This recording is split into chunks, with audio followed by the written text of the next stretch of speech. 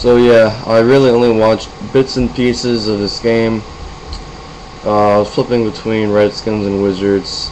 Altogether, a horrible day for Washington sports. Um, God, I'm just so frustrated right now. We've lost what five in a, four in a row, four games in a row we've lost.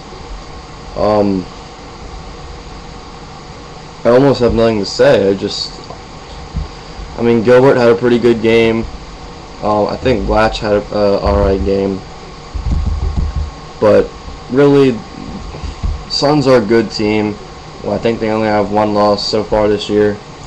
Uh, we got to make it through this tough part in our schedule. It does get easier after a while, so um, yeah, I have really nothing to say. Uh, again, I'm just extremely disappointed.